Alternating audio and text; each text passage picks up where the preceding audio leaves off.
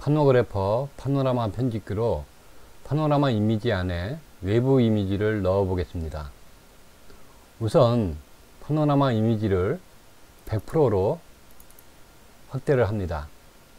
그리고 확대, 확대된 파노라마 이미지에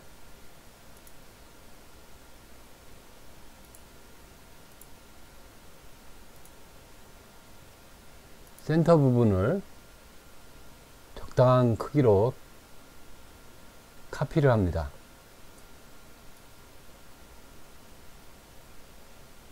네, 적당한 크기로 카피를 한 다음에 복사해서 새로운 창에 붙여넣기를 합니다.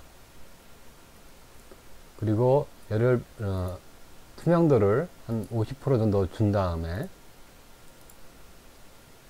그 다음에 이 이미지를 핫스팟으로 저장을 합니다.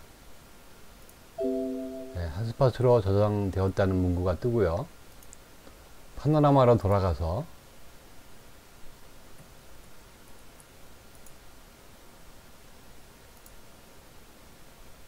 파노그래퍼 파노라마 편집기로 파노라마를 불러옵니다.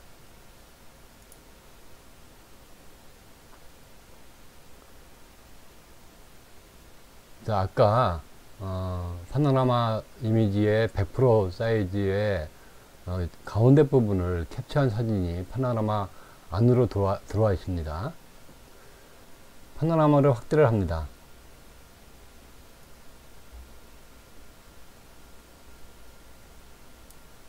확대를 해서 100%일 때의 화각이 100%일 때의 화각이 위에 화각이 몇 도인지 확인을 합니다. 지금 보면 네, 이 겹치는 정도를 보면 63도에서 정확하게 아, 겹치는 걸 확인할 수 있습니다.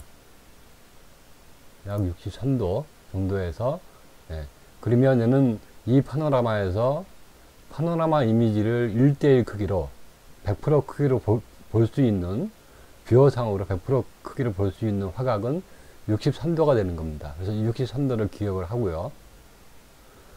이미지를 닫습니다.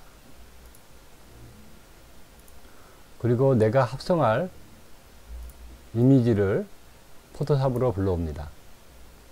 네, 포토샵으로 이렇게 불러온 사진을 파노라마 이미지에 합성을 해보겠습니다. 불러온 이미지를 hotspot으로 지정을 합니다. 네, hotspot으로 지정이 되었고요. 다시 파노라마 viewer로 어, 파노라마를 열면 방금 지정한 핫스팟이 어, 가운데에 뜨는 것을 볼 수가 있습니다. 자 그러면 오른쪽 마우스로 핫스팟 편집기를 연 다음에 네, 이미지를 드래그 하고요.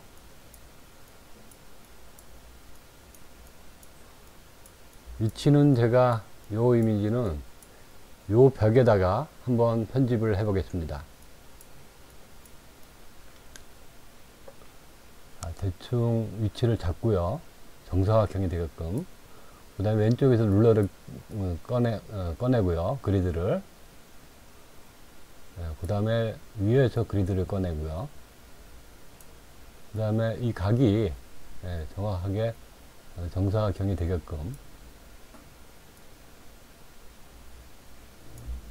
조정을 합니다.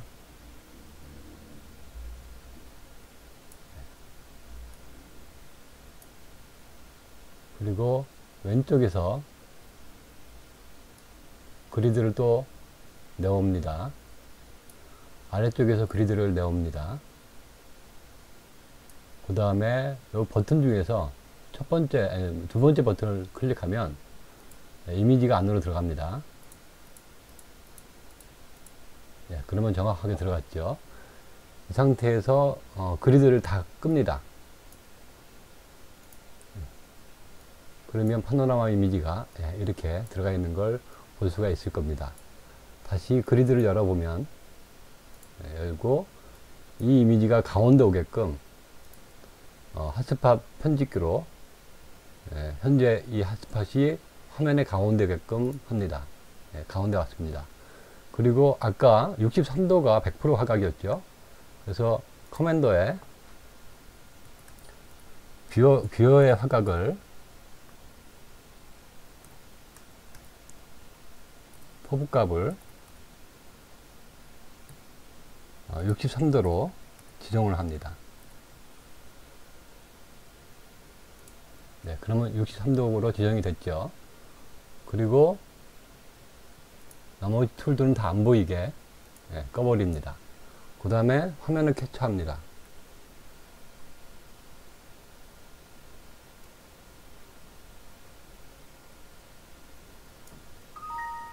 예, 화면을 캡처했으면 어, 다시 이게 어, 화면상에 가운데 오게끔 예, 위치를 시킵니다. 그 다음에 어, grid를 다시 열고요. 예, 이 위치를 확인합니다. 어, 이 파노라마의 그 위치는 이제 pano tool로 추출을 할 건데 화각은 90도고요. 예, 그 다음에 위치가 156에 17이죠. 예, 여기 가, 그 크기를 일단 복, 클릭해서 복사를 하고요. 파노라마 tool에서 필터에서 파노라마 tool에서 extract에서 네. 크기는 아, 파노라마로 먼저 가야 되겠죠. 네, 파노라마로 이동해서 extract에서 크기는 아까 복사한 네, 복사한 값을 입력하고요. 각도는 90도고요. 이, 이 위치는 위치는 어, 156에 156을 이제 복사를 하고 그 다음에 어, 위치가 어, 피치 값이 17이죠. 네, 또 복사를 하고요. 네, 복사가 되어 있네요. 네. 그 다음에 이 이미지를 추출을 합니다.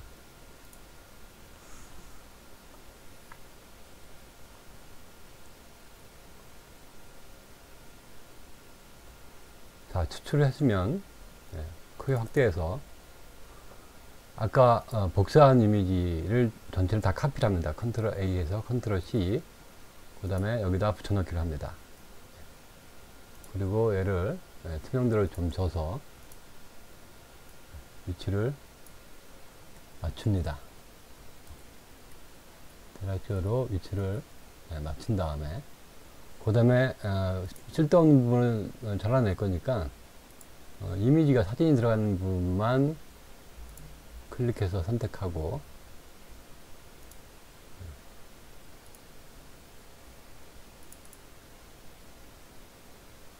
select inverse에서 주변을 다 날려버립니다. 그리고 control D 하고 얘를 다시 100%를 해놓으면 정확하게 들어가 있죠. 그 다음에 어, 얘를 어, layer를 병합합니다. 그 다음에 필터에서 Panorama Tools에서 insert를 합니다.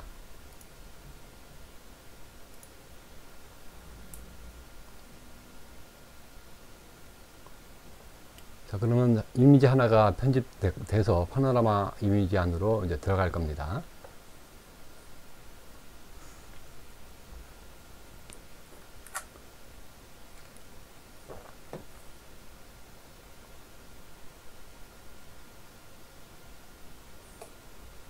자, 여기 들어갔죠. 네.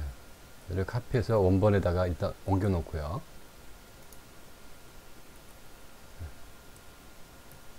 원본에다가 이렇게 옮겨 놓고요. 나머지는 이제 다 필요 없으니까, 음, 삭제를 하고요. 아, 그, 어, 창들을 다 닫고,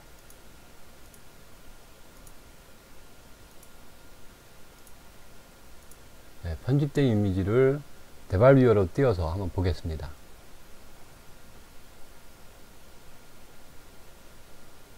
자, 보면 이 부분에 네, 편집이 됐죠. 그죠? 네. 자, 또 사진 하나를 더 불러와서 이번에는 이 측면에다가 이 어, 측면의 이 윗부분에다가 편집을 해 보겠습니다. 저장하고요. 그 다음에 어, 편집할 이미지를 네, 이번에 또 어, 집어넣을 이미지를 두 번째로 집어, 집어 넣을 이미지를 불러옵니다. 이미지 사이즈가 좀 큰 것 같네요. 이미지 사이즈 500 정도로 줄여볼게요. 그리고 이 준비된 이미지를 똑같이 핫스팟으로 지정을 합니다. 핫스팟으로 예, 저장하고요. 예. 그 다음에 이제 viewer로 와서 다시 파노라마 viewer로 단축키 F11 눌러서 예, 열어보면 가운데 예, 아까 지정한 핫스팟 이미지가 들어와 있죠. 얘도 마찬가지로 오른쪽 버튼으로 핫스팟 편집하기를 클릭한 다음에 예, 이렇게 드래그해서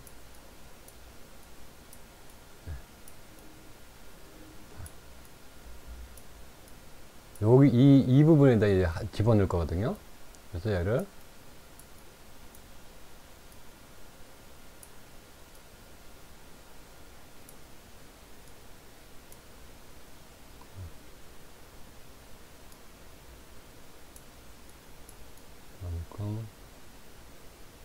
정사각형의 화면이 되게끔 네. 대충 한 다음에 그리드를 꺼냅니다. 위에 그리드를 꺼내보고 그래서 얘가 어, 사각형 이미지로 맞도록 조정을 하고요.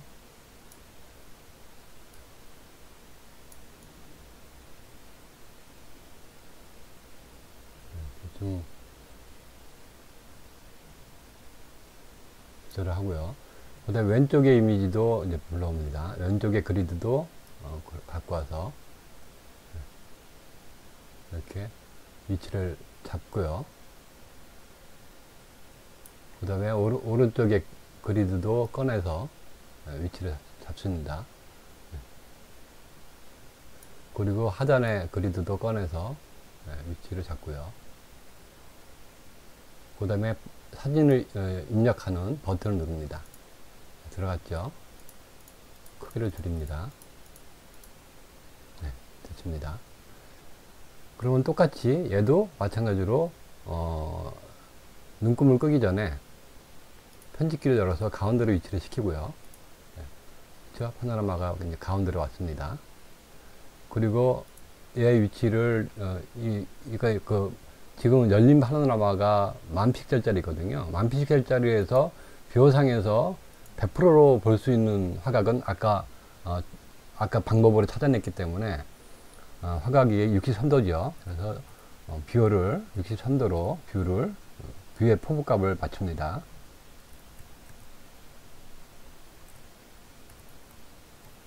(63도) 그래서 실행을 하면 view가 63도로 딱 들어옵니다.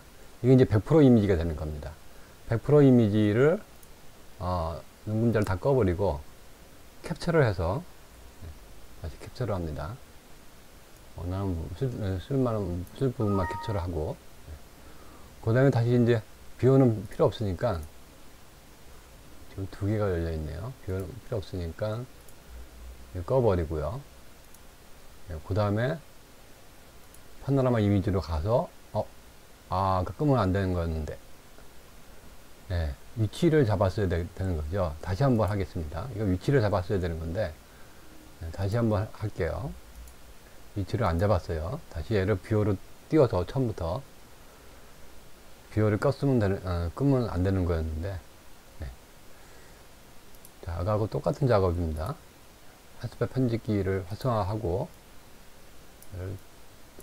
들어가서 저 이미지는 뭐 아무데나 가 있어도 돼요. 중요한 거는 이 위치를 잡는 거라서 위치가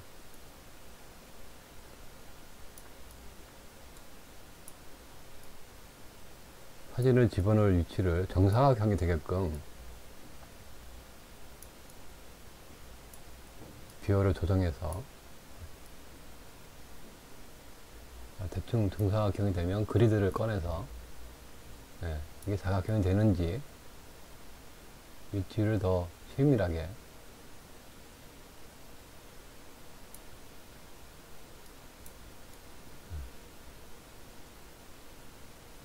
세밀하게 조정을 해서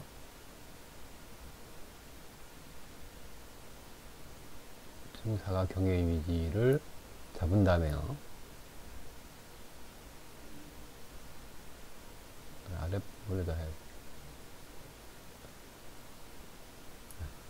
왼쪽에 그리드도 꺼내오고요. 그 다음에 오른쪽에 그리드도 역시 꺼내서 아래 것도 꺼내고요. 그렇게 해서 네, 입력 버튼을 눌- 눌러서 네, 사진을 입력시키고요. 크기를 조절하고 어, 너무 커졌네요. 아, 너무 작아졌네요. 작아졌으면 이걸 편집기를 열어서 얘를 네, 키우면 되겠죠. 네, 그럼 켰, 됐습니다. 대충 이제 됐고요. 그러면 얘를 중앙으로 보내야 되겠죠. 네, 이걸 눌러서 중앙으로 보낸 다음에 그 다음에 화각을 100%로 입력해야겠죠. set view 점 FOV 음, 63 63 도로 네. 그러니까 1대1 viewer상에서 1대1로 보게끔 한 다음에 모든 어, tool을 닫고 가운데 부분을 어, 캡처를 합니다.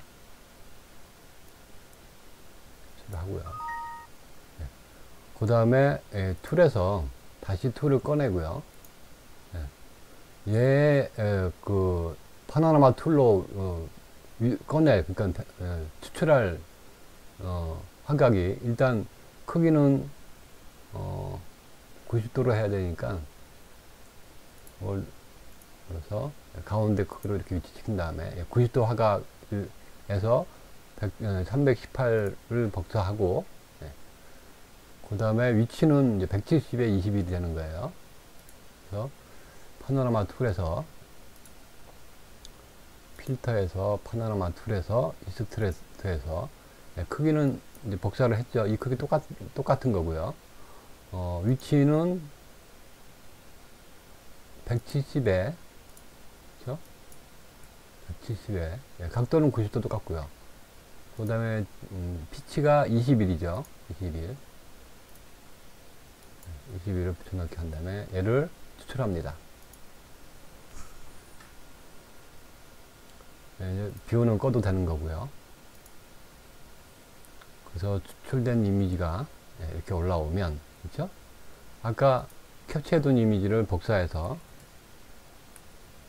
네, 붙여넣기를 합니다. 그리고 100%로 한 다음에 layer를 좀 투명하게 만들어서 위치를 잡아, 잡으면 되겠죠. 화살표 키로 대충적인 위치를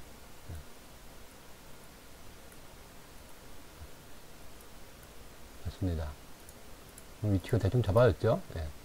그럼 물론 이제 음, 저기 그 transform tool로 저 정확하게 어, 할 수도 있지만은 뭐 이미지만 잘라내면 되는 거니까. 예. 이미지 부분만 선택 tool로 선택해서.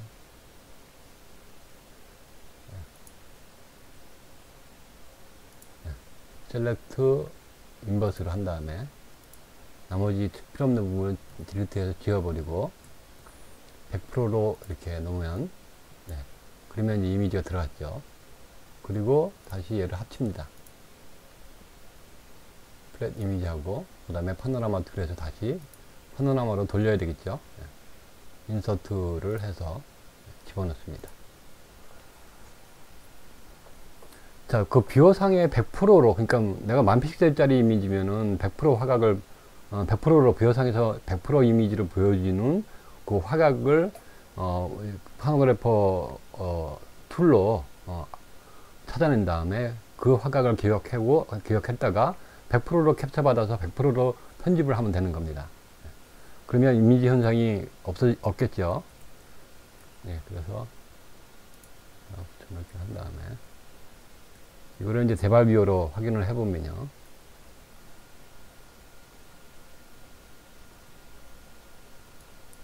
자, 이렇게 이미지가 합성해서 들어가는 것을 볼 수가 있습니다. 그렇죠? 네.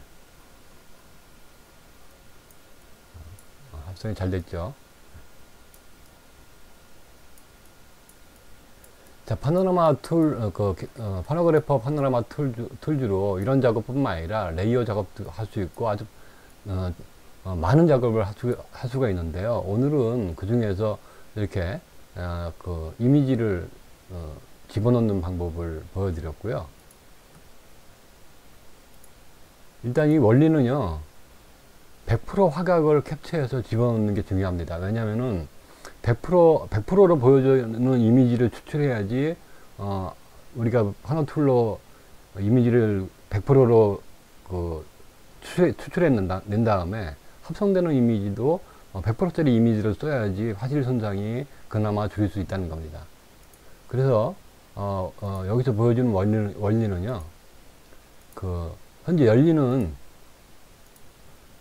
지금 이 파노라마는 이미지 정보를 보면요.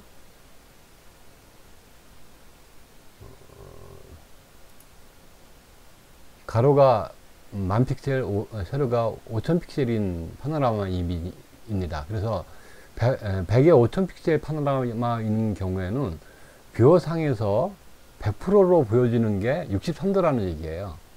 그럼 그 63도의 100% 이미지를 캡처하고 집어넣고 하는 작업을 하면 화질 손상이 어, 그, 그나마 많이 줄일 수가 있다는 거죠. 그러면 다른 큰 이미지, 더, 이거보다 더 큰 이미지를 갖고 왔을 때는 아니면 이거보다 좀 더 작은 이미지 갖고 왔, 어, 이미지를 갖고 왔을 때는 화각이 어떻게 되는 건지 한번 확인을 해 보겠습니다. 자, 이 이미지는 현재 이미지 사이즈가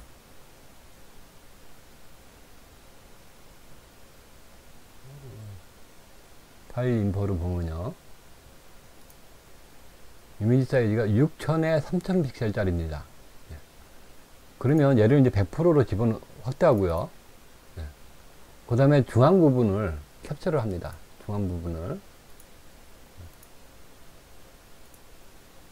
예. 중앙 부분을 따로 이미지를 중앙 부분을 이렇게 예. 적당한 크기로 카피를 해서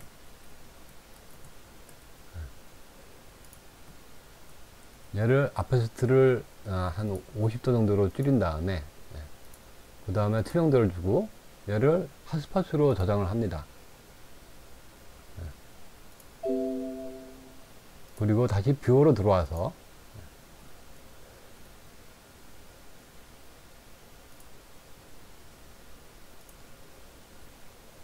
viewer를 띄면 네, 파노라마 이미지로 viewer를 띄면 가운데 들어와 있죠. 네, 지금 투명한 이 부분이 맞을 때까지 어, 화각을 당겨 봅니다. 네. 자, 그러면 당기면 네, 이 여기 부분을 겹쳐지는 부분을 잘 보세요. 네, 그러면 네.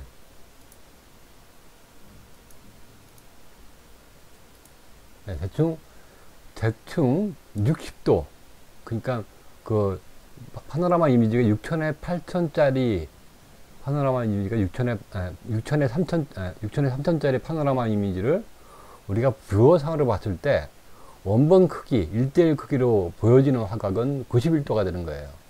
아까는 63도였는데 이거는 91도죠. 네, 이유는 왜냐, 왜 그러냐면은 원본 이미지가 어, 어, 클수록 당연히 화각은 더 작, 작아지는 거고요. 그랬을 때는 1%가, 되, 100%가 되는 거고 원본 이미지가 작아지면 화각이 좀 더 커져, 커져서 예, 예, 커져야지 100% 이미지를 볼 수가 있는 거예요. 예, 지금 아까 본 것처럼 원본 이미지의 100% 해상도를 카피한 이미지를 핫스팟으로 올려서 예, 비호상에서 어, 이, 화각을 변경해서 어, 봤을 때 정확하게 겹치는 각도 어, 화각이 예, 화각이 그러니까 6천에 3천짜리 이미지는 91도라는 얘기입니다. 자, 만약에 3200 픽셀 같은 게, 아니, 3200이 아니라, 어, 다른 이미지를 한번 더, 더 보죠.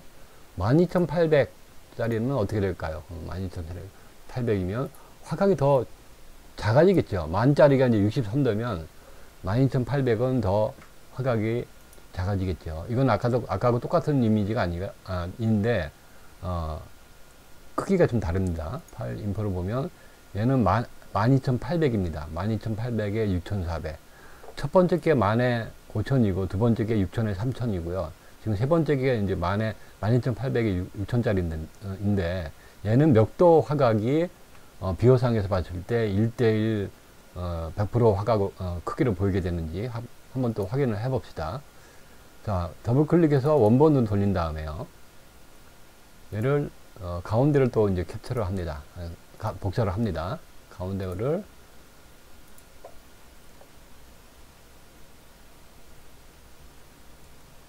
자, 가운데를 대충 뭐 확인할 정도의 크기만큼 복사를 하고요. 얘를 카피해서 다시 새로운 창에다가 붙여넣기를 합니다. 그리고 투명도를 주고요. 그리고 어, 아랫부분은 꺼서 투명도를 준 다음에 얘를 핫스팟으로 이제 지정을 합니다. 저장하고요. 그 다음에 다시 파노라마로 와서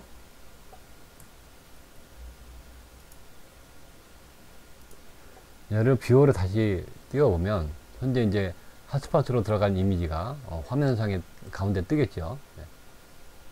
네, 뜹니다. 그럼 이 상태에서 얘가 또 정확하게 겹치는 부분, 그죠? 겹치는 화각이 몇 도인지 그거를 어, 봐야 되겠죠. 네. 그래서 네, 여기 엄청 커지네요, 그렇죠? 자, 여기서 좀 더 이제 보면 이미지들이 겹치는 게 선명해지죠. 네. 얘는 51도 한 50도 정도? 51도 정도 되겠네요. 그쵸? 이거 보면은 가서 쭉 해서 여기 겹치는 부분을 보세요. 보면 대충 51도 51도 정도가 예. 그러니까 12,800짜리 파노라마 이미지로 아, 파노라마 이미지를 viewer로 볼 때는 화각이 51도 정도 됐을 때 예. 그랬을 때 그 1대1 크기로 볼 수가 있다는 겁니다. 자 이런 식으로 1대1 크기를 계산을 했으면 파노라마 툴에서 캡처하고 1대1로 캡처하고 그 다음에 1대1로 그 100% 이미지로 만든 그 편집 이미지를 걷다 어, 그 넣어서 편집하고 그러면 화질의 손상이 그만큼 줄어든다 어, 그큰 손상 없이 편집을 할 수 있다는 겁니다.